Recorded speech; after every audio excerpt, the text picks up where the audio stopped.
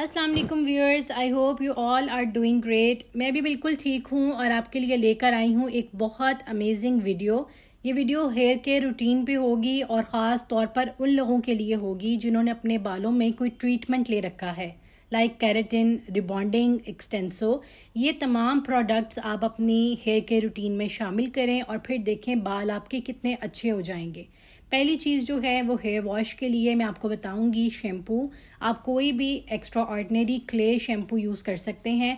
मैं जो ये क्लेम करता हो कि वो आपके ऑयल जो निकल रहा है स्कैल्प में से रूट्स जो ऑयल प्रोडक्ट कर रही है, उसको कम करेगा। सेकेंड थिंग इज़ कि वो आपके ड्राई एंड्स को ख़त्म करेगा, उनको मैनेज रखेगा। तो ये शैम्पू क्लेम करता है ये दोनों चीज़ें, इसलिए मैं ये यूज़ कर रही हूँ, क्योंकि जब से मैंने रिबॉन्डिंग करवाई है, मेरे बालों में से ऑयल प्रोडक्शन बहुत ज़्यादा हो गई है। प्लस आप कोई भी शैम्पू लें तो उसके इंग्रेडिएंट्स ज़रूर पढ़ लिया करें। आ, मुझे जो है वो शैम्पूज़ में सारेसिलिक एसिड पसंद है इसलिए मैं ये यूज़ करती हूँ क्योंकि जो सारेसिलिक एसिड्स होते हैं ना ये आपके बालों में से ड्रैंड्रफ को भी ख़त्म करते हैं। नेक्स्ट थिंग जो हम यहाँ पे बता बताएँगे आपको, वो ये आवापूही वाइल्ड जिंजर शैम्पू है। ये जिंजर शैम्पू जो है, ये आप यूज़ कर सकते हैं तब जब आपने अपने बालों में कलर भी करवाया हुआ है। आपने रिबॉन्डिंग तो करवाई, लेकिन उसके साथ साथ आपके बाल कलर भी थे। अब बाल कलर होने की वजह से आपके बाल फट जाएँगे। बहुत जल्दी स्प्लिट एंड्स निकल आएँगे और आपके बालों का कलर जो है वो ख़राब होना शुरू हो जाएगा। तो ये तमाम हेयर टाइप्स के लिए है, सब इसको यूज़ कर सकते हैं और इसके इंग्रेडिएंट्स भी बहुत अच्छे हैं। इसके बारे में लिखा गया है कि जो वाइल्ड जिंजर है, उसकी रूट्स में से एक्सट्रैक्ट इसके अंदर शामिल किया गया है।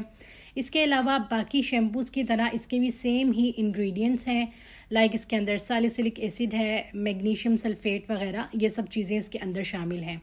ये शैम्पू आपको थोड़ा सा एक्सपेंसिव मिलेगा। ये 250 सौ की ट्यूब आपको 4500 टू 5500 की मिलेगी। लेकिन आप जो है वो दो तीन महीने आराम से ये ट्यूब इसकी यूज़ कर सकते हैं।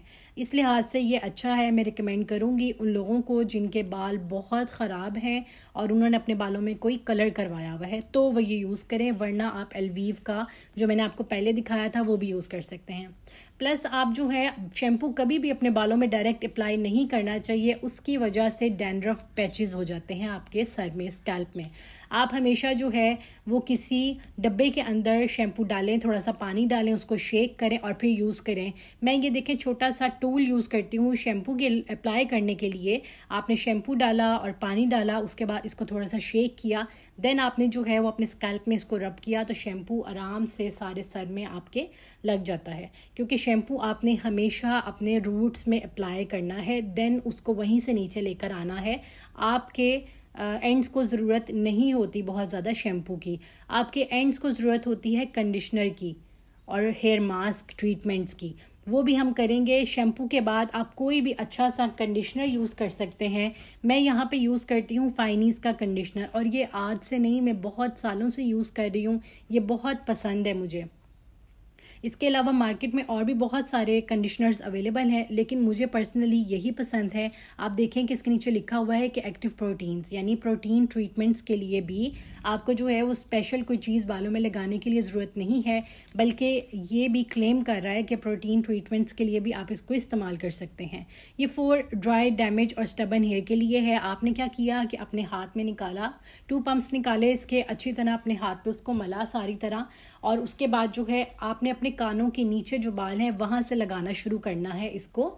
अपनी एंड्स तक। रूट्स में कभी भी अप्लाई नहीं करना चाहिए कंडीशनर को।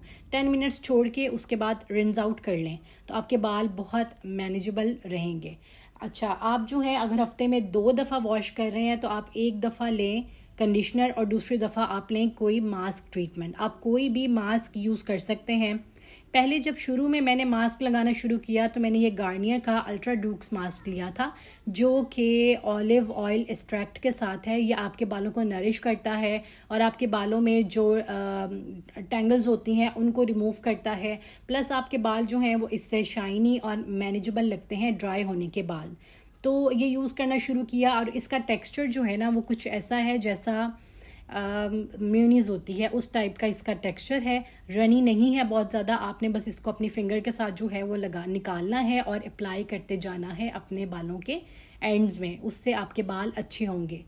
और ये कुछ थ्री फिफ्टी रुपीज़ का ये जार मिलता है, जिसके अंदर थ्री हंड्रेड एम एल की क्वांटिटी है, जो आपकी सात से आठ माह आराम से निकल सकती है। मैं इसका आधा जार यूज़ कर चुकी थी, ये मैंने छोड़ दिया यूज़ करना, क्योंकि मेरे बाल जो थे, उनको ज़रूरत थी कैरेटिन ट्रीटमेंट की। तो ये वाला जो हेयर मास्क है, ये मैं अपने स्टाइलिस्ट की रिकमेंडेशन पर लेकर आई। उन्होंने कहा कि आप जो है ऐसा हेयर मास्क लें जो कैरेटिन ट्रीटमेंट के लिए खसूसी तौर पर बनाया गया हो।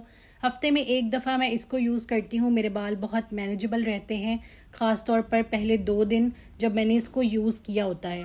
जो ब्रेकेज है वो बहुत कम हो चुका है प्लस जो नीचे से बाल फटे हुए रहते हैं और स्प्लिट एंड्स कलर की वजह से वो कम होना शुरू हो चुके हैं। ये 700 टू 750 रुपीज़ का आपको ये फाइव हंड्रेड एमएल का जार मिलेगा। ये जब से मैंने यूज़ करना शुरू किया है, बहुत अच्छा रह रहा है। आपने मास्क हो या कंडीशनर हो, उसको कानों से नीचे अप्लाई करना शुरू करना है। अगर आप इसको अपनी स्कैल्प में रूट्स में अप्लाई कर लेंगे तो जब इसको रेंज आउट करने लगेंगे तो वो आपकी आँखों में भी जा सकता है। और इसकी क्वेश्चंस में लिखा हुआ है कि आपने इसको आँखों में जाने से बचाना है, क्योंकि ये केमिकल बेस्ड ट्रीटमेंट है। आप एक दफ़ा कोई भी अच्छा भी ले सकते हैं, इससे भी बेहतर, इससे महँगे प्राइसी भी हैं, आप वो भी ले सकते हैं, वरना आप ये भी यूज़ करके देखें रिज़ल्ट सेम ही होते हैं। बाल वॉश हो गए, अब उसके बाद अपने बालों में आपको कोई ना कोई सीरम अप्लाई करना है।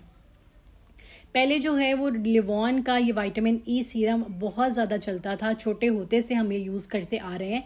इसके नीचे तीन बातें लिखी हुई हैं कि कंट्रोल फ्रीज करता है ईज आउट टैंगल्स जो हैं, उनको ईज आउट कर देता है और ब्रेकेज को रिड्यूस करता है। तो आखिरी दो बातें ठीक हैं, लेकिन पहली बात जो है कि फ्रीज कंट्रोल करता है, ये बिल्कुल गलत है। बल्कि वाइटामिन ई जो है, क्योंकि ये ऑयल बेस्ड सीरम है, ये बल्कि आपके बालों को फ्रीजी करते हैं। थोड़ी देर थोड़ी देर के लिए तो आपको लगेगा कि टैंगल जो है, वो निकल चुके हैं ब्रेकेज कम हुआ है, लेकिन थोड़ी देर बाद ही आपका बा, आपके बाल जो हैं वो ऑयल ज़्यादा प्रोड्यूस करने लग जाएँगे। नेक्स्ट थिंग जो मैं रिकमेंड करूँगी और ख़सूसी तौर पर मेरी तरफ़ से ये रिकमेंडेड है आ, सब हेयर टाइप्स के लिए। ये बहुत अच्छा है। आप कोई भी जो है आ, सीरम ले सकते हैं इस तरह का। यहाँ पे मैं रेवलॉन का रिकमेंड कर रही हूँ विद टेन रियल बेनिफिट्स और ये वाकई बेनिफिशियल है। इसके बहुत कमाल के रिज़ल्ट्स हैं, मैं ये यूज़ कर रही हूँ, मुझे अब ये पर्सनली बहुत पसंद है। इसके अंदर चौथे नंबर पे जो लिखा हुआ है कंट्रोल फ्रिज ये वाकई फ्रिज को कंट्रोल करता है ब्रेकेज को कम करता है और भी बहुत सारी इसकी क्वालिटीज़ हैं। आप ये यूज़ करना शुरू करें, आपको ख़ुद अंदाज़ा होगा कि आपके बाल कितने अच्छे हो रहे हैं इसको यूज़ करने के बाद। तो ये सारी चीज़ें थी जो मैं अपनी हेयर केयर रूटीन में शामिल कर चुकी हूँ। आई होप आपको अच्छी लगी होंगी, अच्छी लगी हैं तो इनमें से कोई ना कोई अडॉप्ट करके देखें। अल्लाह हाफिज़।